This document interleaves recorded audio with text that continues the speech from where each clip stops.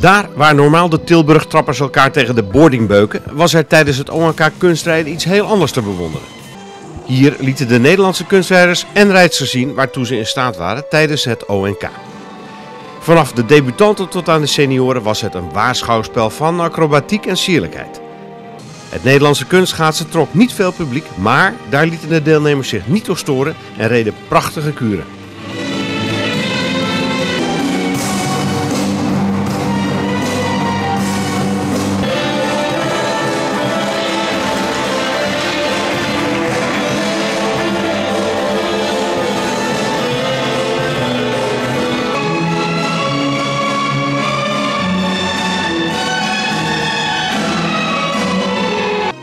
Bij de novices was het Rosemarijn Gozes die de show stal en daarmee haar titel verder stelde.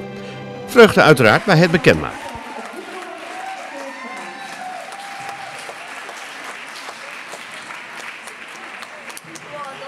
Rosemarijn, uh, je hebt de novice gewonnen. Vorig jaar won je, won je bij de DEPS.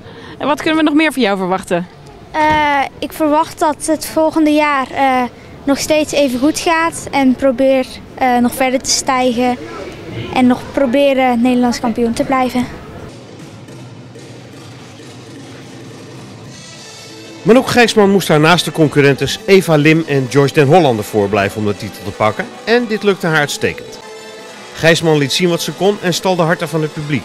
En niet alleen met haar rijden maar tevens het prachtige groene pakje. Ik ben natuurlijk heel erg blij dat ik heb gewonnen. Vooral omdat ik nu uh, ook naar het EK mag. En daar ging het eigenlijk om voor mij.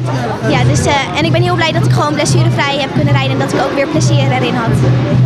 Alle ogen waren gericht op Boyito Mulder. Die tijdens de training zichzelf met een schaatspunt in de voet blesseerde. En dat was nog maar de vraag of hij mee zou doen. Maar de HBO-student verbeet de pijn met wat hulp van de chemie. En ook hij won. Zij het nipt van zijn naaste concurrent Florian Gosteli. Boito, uh, vrijdag uh, ben je geplaceerd geraakt tijdens de training van het Nederlandse kampioenschap. Je hebt toch je Nederlandse titel behaald. Wat betekent dat nu voor jou? Ja, het is voor mij een uh, winst op zich. het was maar de vraag of ik mee zou doen aan het NK. En als ik mee zou doen, of ik hem wel helemaal zou uitrijden. Nou, het is me gelukt. En ja, dat is voor mij al een winst op zich. Je kwam net ongeveer drie punten tekort voor het, voor het Europees kampioenschap om daarna uitgezonden te worden. ja, wat moeten ze daar nu mee gaan doen? Ja, ik heb gedaan wat ik kon. Uh, ik heb niet alles laten zien wat ik in me heb. Uh, ik heb een aangepast programma moeten doen. Uh, ja, dan drie punten te weinig. Het is niet aan mij, maar als ik er maar drie punten onder zit, vind ik al de prestatie op zich.